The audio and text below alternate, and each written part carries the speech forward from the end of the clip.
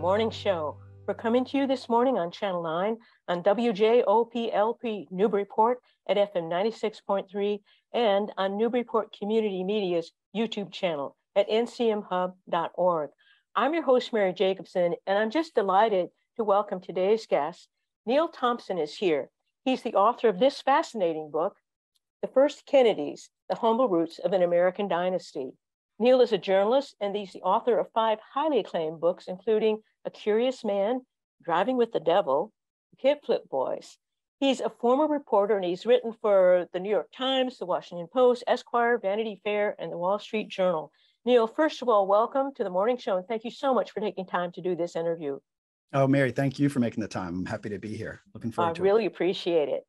Well, Neal, let's start here. You know, before the Kennedys were the legendary dynasty that we remember them personifying with wealth, glamour, politics, power, Camelot, and the tragic loss of Camelot. Before the dynasty, there was, as you describe it in your book, the largely forgotten truth that it started pretty much with nothing. Just a poor, hardworking widowed grocer named Bridget and her four fatherless children in an East Boston tenement. The endurance and savvy of that lost matriarch, as you call her, really is the heart and soul of the first Kennedys. And gosh, Neal, it only makes the ultimate dynasty that more extraordinary.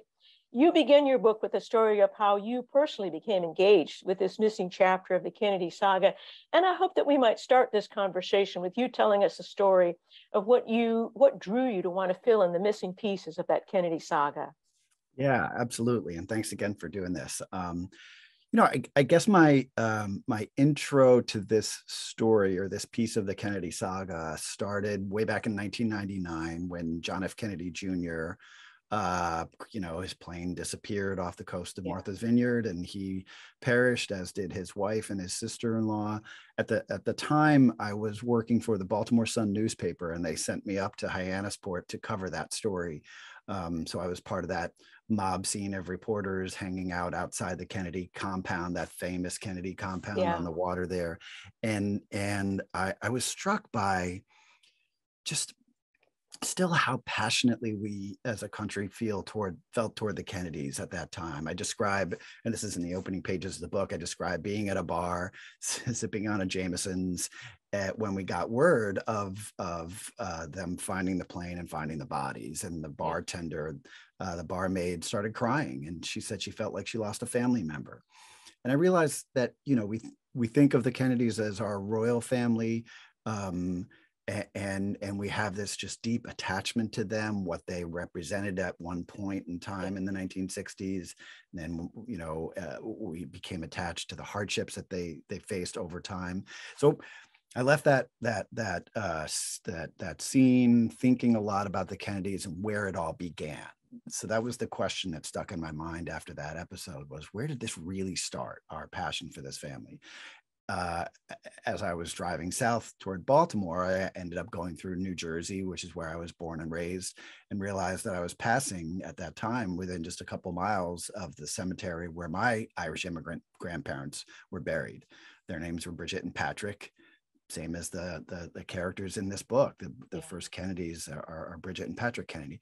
Um, so it took many fits and starts for me to figure out really how to approach this story. And what really brought it into focus was um, this is jumping forward many years now 2016 election um, and and hearing um, us have these conversations about immigration and immigrants in this country that were very reminiscent of the, the the the the dialogue we were having in this country back yeah. in the 1800s and we have across time right when it comes to any yeah. immigrant group so what i decided was let's let me really try and focus on the immigrant aspect of the kennedy story you know what was life like coming for them to come to a country that at that time didn't didn't want them here didn't want irish catholics here yeah well that brings us to um, a primary theme of your book, which is the immigrant experience that I wanted to talk to you about, Neal, because you express it so well in the book.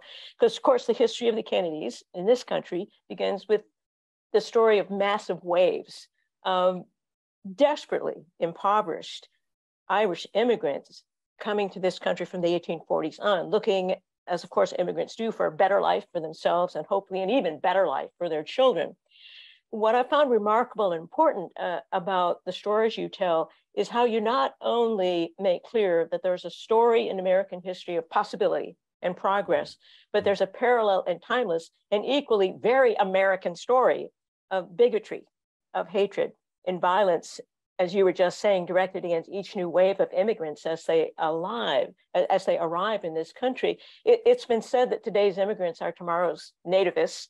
Yeah. Um, and uh, so please uh, fill us in on the situ. First, the, first, let's start with the situation in Ireland that the immigrants were um, desperate to flee from and the conditions of their transport to this country. Yeah, yeah. Um, thanks for picking up on that because it's such an important theme of the book and an important one for me to have explored because I I think it says a lot about who we are as a country, both good and bad. Um, so the situation in Ireland was the, the, the Great Potato Famine in the mid 1840s devastated that country. I mean, it was already a deeply impoverished, uh, uh, you know, almost pagan type of uh, uh, uh, lifestyle for poor farmers living on these small farms. Um, the Irish didn't own their own land. You know, it was it was the the entire island was colonized by England, um, and so they just scratched out a living for themselves. And many of them subsisted largely on potatoes because their more valuable crops were sold to pay the rent to the absentee English landlords who owned their property. So when the potato famine hit, which was this devastating crop failure that occurred 1845 and the next two years after that, um, they they lost their primary source of of nutrition and sustenance. Yeah. So um, you know, just to round things off in a terrible way, a million people or more starved to death or died of uh, associated diseases, uh, and then another one to two million escaped uh, realize this is not sustainable. That that country lost, you know, nearly half of its population from that point in the mid 1840s up until the you know 1850s and onward. Um, and so this is this is uh, the situation that that Bridget Murphy Kennedy faced. She was uh, li- living in County Wexford, small farm that her parents ran. Um, and she was the one who either decided on her own, which is how I like to think of it, and or the family decided Bridget should be the one to go to America. Like, let's send one of our family members out of here uh, toward a hopefully better life. You know, establish a bulkhead of sorts in in uh, uh, in a new land, and then she would send for other family members to come later. So Bridget left Ireland alone. Um, she was in her mid twenties. Um, and she was part of this wave of uh, uh, refugees, really escaping from Ireland. But what I loved learning about was that she was part of um, a wave of female Irish immigrants mm-hmm. leaving at that time. More Irish women left than Irish men during this period of time, uh, and I think it says a lot about her her personality and her t- tenacity that she was willing to take this risk and cross uh, you know, to to a new land on a dangerous, you know, coffin ships as they were known. Yeah. Um, many people died on those dangerous crossings. Ships were sunk at sea. People got de- uh, horribly sick during these crossings that could take anywhere from four weeks to 10 weeks, depending on weather and other conditions. So it was a very risky thing to do. You just didn't, people just didn't cross the ocean at that time. Yeah. Uh, only out of desperation did they do so she finally makes it to America and finds, hmm, it's not so it's not so easy going here either. Uh, so she started out, um, you know, in instantly facing many of the the the uh, the conditions, the hatred, and the discrimination that many subsequent and prior generations of immigrants faced across time. But um, yeah. you know, it was not an easy time. Yeah, no, it it it took tremendous grit and gumption um, to make that voyage and to make the decision to come, especially on her own. And one of the things that I appreciated about your book was how you give vivid descriptions of just how unimaginably poor the people in Ireland were, in Ireland were, how desperate their situation was that would drive them to make um, this really challenging uh, trip across the ocean. I just think it's important for us to understand what immigrants are fleeing and what they've been putting up with and how um, intense their motivation is that they are able to uh, make that leap. You know, my, my I know your your ancestors came from Ireland. Uh, so did uh, both my grandparents on my mother's side, and I never had the chance to meet my grandmother. But my mother always used to tell me that, and she came over later, not in the 1840s, more the 1880s. But the the the voyage must still have been pretty difficult because my mother said that my grandmother always said she would only go back to Ireland when they built a bridge. In other words, no more, no boats. The memories yeah. were, I guess, that traumatic, understandably so. Well, you started talking about, you know, how things weren't that great when they got to this country because they encountered a lot of bigotry. And that's an important story that you tell too, Neal. And I hope that you might say a little bit more about um, what shape did the bigotry take that the Irish met when they um, when they arrived in Boston? Yeah, I'm, I'm happy to discuss that. And I guess I'll, I'll start by saying I was surprised to learn how deep the hatred was toward these uh, Irish Catholic immigrants at that time. You know, I, I went into this project having a general sense of how, as a nation, over time, we have treated various groups of immigrants. Um, and I knew in general terms that the Irish had it rough um, but was really uh, shocked as I drilled deeper to learn um, what they were truly up against. You know, I think uh, when when America first learned about the Irish potato famine, there was initially a little bit of commiseration and funds were sent across to help them. Um, and then as soon as they started arriving here, sick and poor and uh, and just you know just in rags in many cases. Um, um, many Americans, especially in cities like Boston, were like, the re- reaction was, wait a second, we felt bad for you, but we didn't want you to all come here, especially not all at once. So the country was kind of overwhelmed by these these uh, waves of boatloads of immigrants coming uh, uh, during that period of time, and it triggered this I sort of describe uh, American nativism, and it's been described similarly elsewhere. Um, well, my wife has a, word, a term for it. It's like herpes. It, it, it, it flares up, it goes into remission, it flares yeah, up again. Yeah. And this period of time when the Irish arrived, it it it triggered this full on um, outbreak of native yeah. nativism that had been on kind of a slow boil and uh, maybe maybe not so obvious at at at at, at all times, but um, you know there were there were there were voices, uh, preachers and politicians and and and authors and and thinkers, you know, people who otherwise were pr- praised for the good works that they did at that time, who came out and said, "Let's send them back." You know, uh, we heard this the same language used at that time that we heard in recent years. Um, but but it, it, it was it was mainly fear of their religion that that triggered this this nativism and i describe in the book how you see this uh, uh, side by side you know the the income of the irish and the rise of nativist political parties and newspapers you know i i explored the the know nothing party um, uh, you know, trying to enact laws to keep Irish immigrants oppressed, to prevent them from voting, to prevent them from becoming uh, citizens, to prevent them from owning businesses, to control what they learned in the schools. Um, and and you know you had these screeds at that time shrieking that they were coming to take over our country that the, you know the papists as they were known were coming to bring their freaky religion and and overthrow America. I mean, there was just conspiracy theorists and described boys clubs, these social groups that got together and you know had these sort of secret meetings talking about how to to uh, either keep them down or send them back. You know, yeah. the same kind of things we hear across time. Yeah, it it was uh, um, to use your helpful metaphor, a full-on herpes flare. No hold barred. no. and and that I think is an important. It's important too because um, it, it's just helpful to understand.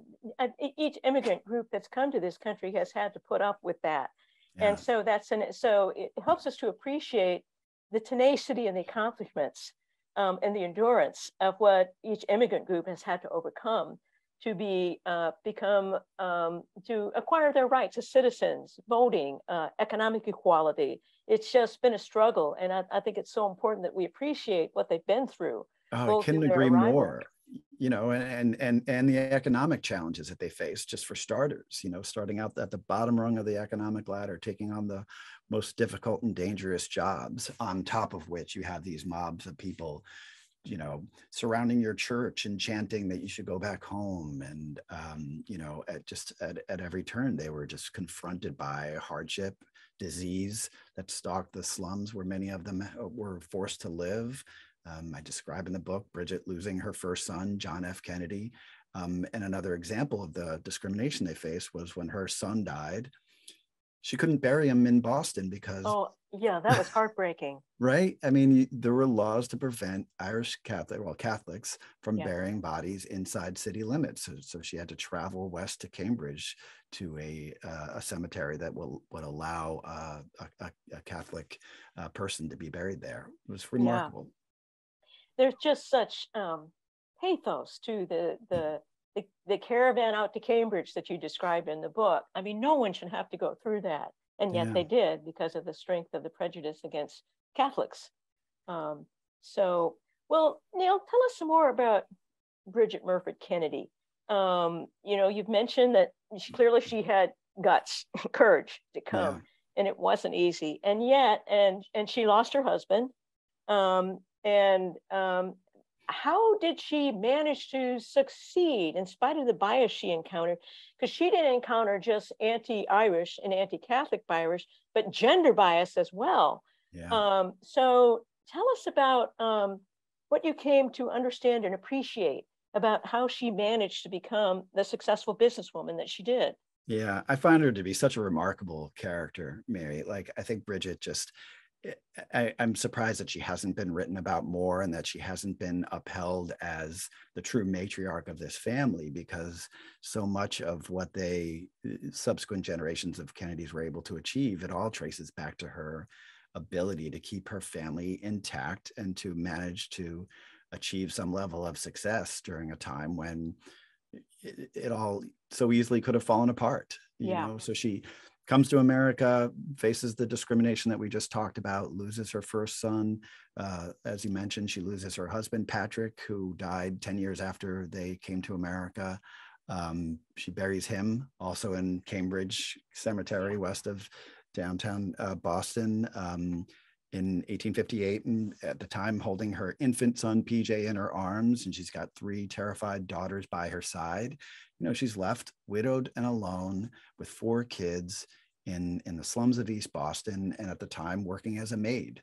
Um, so clearly not making very money very much money at the time and um, just sort of barely keeping it together. But it's almost as if from that point when her husband died moving forward she snapped to it and and uh, w- whatever sort of grit and ambition and and tenacity that was deep inside of her came out to the fore.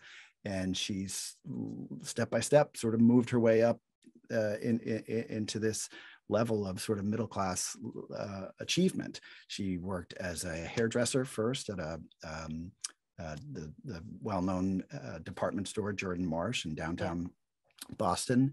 Um, she uh, later somehow found the funding and support uh, to open her own little grocery shop in East Boston.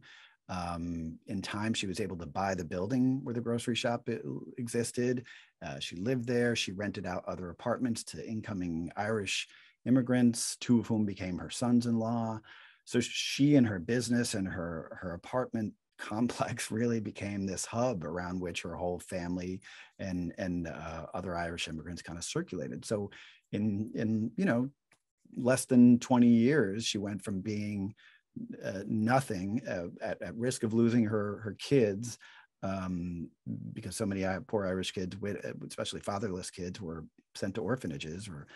Um, but she she became a, an entrepreneur, a Yeah. successful business owner, um, and and a respected figure in the community um, and, and I find that ascent to be so so inspiring and impressive, uh, especially given everything that she was up against. You men- mentioned the the gender bias, the misogyny Yeah. that she was up against. You know, this was old school Brahmin Boston, right? Yeah. Um, you know, home of some founding fathers and and home of these old school families like the Adamses and um, and others, and they they didn't want Irish running the show. They didn't want women running the show. They wanted to keep things stuffy and Puritan and Protestant and old school, the way it had been for many decades. So to, to see upstart Irish widowed immigrant women like like Bridget sort of take control of her her life and her story um, I, I, think it's remarkable. Um, and I think she deserves way more credit than she gets for, for having achieved that and, and in turn, uh, giving her son, PJ, the life that he had, which allowed him to become a politician and an even more successful business person in, in his own right, way before we get to the Joe Kennedys and his, his, yeah. his clan. Yeah, tremendous, um, to use a phrase my mother always would use, tremendous backbone there um, yeah. a tremendous um, savvy, and also a good heart because she was also, you know, very generous um, to family um, and friends, and and and clearly, uh, you know, she she did get that dynasty started. Yep, yep. I'm glad that you, happened without her. you've clarified that for time and history. you know, you mentioned her son PJ, and and you know, I, I think with PJ, people have heard of PJ Kennedy because he was father of Joe Kennedy. And so when we get to PJ, we get to part of the Kennedy history that more of us are familiar with, a successful businessman and politician, a backroom deal maker extraordinaire, and, and a well-liked, also generous human being. And I mentioned he father of Joe Kennedy, who then of course married Rose Kennedy, the daughter of Honey Fitz Fitzgerald. Um, and that's what most of us think of as the mm-hmm. dynasty's beginning, Joe and Rose. Um, so Neal, though, um, as you've thought about this, what are what have we been missing um, about the Kennedys, what they mean to us, what their aspirations were, what their significance is in American history and culture, when we haven't known about Bridget's contribution. Yeah, you're absolutely right, Mary. And I think that's what drove my passion for this story. And I really went out of my way to tell the backstory the way it hasn't fully been told before i hope because you're right so much of what we know about the kennedys we think we, we it's almost as if we think it all started with joe like and, and he played off that too i think joe yeah. you know played off the story of himself as this up from the bootstraps poor kid um you know lifting that family onto his shoulders and becoming an instant success and all these things and it's just not fully true he he he was born to wealth and privilege uh, and that wealth and privilege was only because of his father and before that his grandmother um, so i really wanted to not discount entirely Joe Kennedy and what he was able to achieve. He's clearly an important historical figure. I don't think he was a very nice person. Um, and, and, so I wanted to show not only where the Kennedys really truly came from, but to show some of the traits and characteristics that we think of as being Kennedy-esque. Yeah. Um, you, you, know, concern for the poor, for those who have less than, compassion for others, um, and, a, and a, a, strong sense of the value of the immigrant. I mean, you know, JFK writes that book, A Nation of Immigrants, which um, is, uh, you know, in, in praise of the value that people from other countries bring to this country. All of those sensibilities, I think, skipped Joe it's picked up in John and Bobby and their sisters and others. You see Eunice helping create the Special Olympics. You know, there are examples of that family being giving back yeah. across time. Yeah. And I think all of that really begins with, as we discussed, Bridget being this community nexus and and helping others who are coming and experiencing the same hardships that she faced and then and then pj as a politician was very much focused on uh, his constituents, his neighbors, helping those who needed a hand. He was known for being maybe too generous with those to whom he lent, loaned or gave money or helped them find a job. I was able to access PJ Kennedy's uh, papers at the JFK Library, and many of those papers are letters from PJ to others trying to help someone. yeah. You know, trying to help someone find a place to live or a job or recommending someone for for college.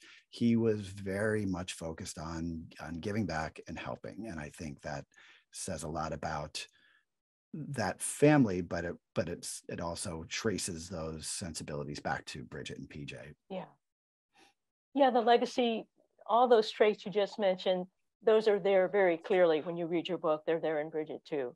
And so she's just the the the source. Yeah, right. At least the source we can know anything about. Um, so we, you know, Neal, I grew up in an era when the Kennedys were just an enchantment. They were the ultimate in class, glossy, inspirational figures. Um, you know, ask not what your country can do for you, but what you can do for your country, which seems like a antique sentiment sometimes today. But they represented hope. Um, and I remember, as I think everyone of who was alive did, I remember where I was the day that JFK was shot and how heartbroken I felt along with everybody else. But I wondered as I read your book if the Kennedys are still the Kennedys. Mm-hmm. um, you know, we're famous today for very short attention spans, and younger generations, they never knew JFK or RFK or even Jackie Onassis. Um, so, and to me, it, it, sometimes feels as though the younger generations of Kennedys may not have the same kind of charisma or certainly not the same kind of presence in, in American culture and life. So I'm curious to find out your thoughts about whether the Kennedy dynasty has died off or at least become diminished. Because uh, you've been on a book tour lately with your book about the 1st mm-hmm. Kennedys. And I'm curious to find out what your sense of that based on what you hear from people who've been coming to your book reading, what ages are they are, what kind of views do they have of the Kennedys today? Yeah, I, I I, have thought a lot about that that question about the, the legacy and where it stands now, where it's headed. Are the Kennedys the same Kennedys that we think of when we think capital K Kennedys? Um, but I think you're probably right. I think it is. I don't know if dying out is the right term for it, but it's definitely diminished, and and clearly the the the the the concept of Camelot, I, I think, is no more. Right. Uh, in fact, just recently, we, uh, with the loss uh, in the primaries of Joe Kennedy III, yeah. um, we now do not have a Kennedy in Congress for the first time in many years. Yeah. You know, starting with JFK's election in 1946, I believe. Um, you know, there was there had been a Kennedy in Congress or in the White House for you know most of my lifetime for sure and and going even before that so now that we don't have a kennedy in in in, in congress um, not that it won't happen it does feel like you know it's just sort of maybe petered out and maybe that's just how these things go i do think other members of the family have found ways to serve in their own way yeah. you know philanthropic efforts and uh, sort of behind the scenes efforts community efforts um, but you know there then there are complications like um, you know, uh, uh, is it Robert Kennedy who, you know, has been a very vocal anti-vaxxer. Um, yeah. And, and I think that complicates how people view the Kennedys today. Yeah. Um, I also think we're a, a, in, a, in a period of time where looking back on this family of wealth and privilege, even though they did give back, um, you know, we, we're now more aware of so some of the, the, the faults and flaws and failures yes. of, of JFK and others. Um, so I think it does make sense that maybe the country has kind of moved on. But to your question about people I ran into on my book tour, I think there's still uh, a deep sense of, um, uh, you know, appreciation, nostalgia, maybe more than anything. Um, and in some cases love for that family and what they represented. I think we do as a country want to have dynasties people that we uh, get to know across time who are our leaders. You know we're a democracy but we came from you know our colonizer england where they still revere the you know the royal family and i think we always thought of the kennedys as our royal family yeah. and as it's sort of as you said diminished um, uh, I, I, think there's a little bit of sadness in that. You know, yeah. there had been great hope for JFK Jr. He dies. I mean, there's so much tragedy in that family, which is, I think, another thing that draws us to them and their and their story and their history. Um, and I guess it's my hope that this piece of that family history, going back further in a way other books haven't, maybe will give us a fresh perspective on what uh, uh, they they mean to America because they are truly representative of the immigrant success story, the uh, you yeah. know the, achieving the American dream from from from nothing. Um, and uh, I, I, would love to see Bridget be remembered for, you know, the role she played in in, in giving us that family, that royal yeah. family that we think of. Yeah, well put, Neal. An extraordinary success story in the face of extraordinary hardship and extraordinary loss and tragedy along the yeah. way. Um, but you know, the hook for me with the Kennedys is still wondering what would have happened to our country if JFK hadn't been killed or if RFK hadn't been killed. Those are yeah. things I occasionally, I mean, there's no way to answer those questions, but they're things that I sometimes speculate upon. Um, not in a very specific way, but just my sense is we might have been better off. yeah, I I feel the same way, and I think that's so, why we're still connected to the family. Yeah, There's that sadness uh, right. uh, over the loss of what might have been. Right. Yeah. Well, Neal, it's a wonderful book, um, and uh, I thank you uh, for writing it because I hmm. learned so much from it. Um, and I thank you for taking time to visit the show today. I've really enjoyed talking to you. Uh, so thank you so much, Neal. It's been a real pleasure to talk to you. And I, oh. I, just have learned so much, not just about the Kennedys, but about certain aspects of American history as well. That does, and you know, and this sort of circles back to your introductory story about what hooked you in with the 2016 election and the issue of immigrants and uh, fear mongering about immigrants and dehumanizing immigrants. And you just fill that, that uh, history in in a very illuminating way in your book, which I really appreciated. So thank you, Neal. For oh, all oh, thank, above. Mary, thank you so much. I really enjoyed speaking with you. This was this was a treat. Totally my pleasure. All right, Same. you take care now. You too. Take care. Bye bye.